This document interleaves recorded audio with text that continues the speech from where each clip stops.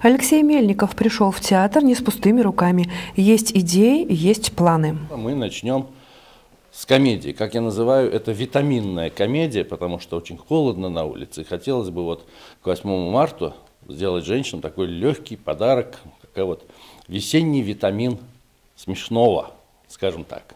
Угу. Вещь называется «Дом, где все кувырком». Она шла здесь лет 20 тому назад. Пьеса прошла тогда с большим успехом. Новая труппа постарается его повторить. А уже в эту пятницу димитровградцев ждут на комедию «Боинг-Боинг». Почти полностью поменялся состав исполнителей, но когда в театре меняется состав, это, по сути, рождается новый спектакль.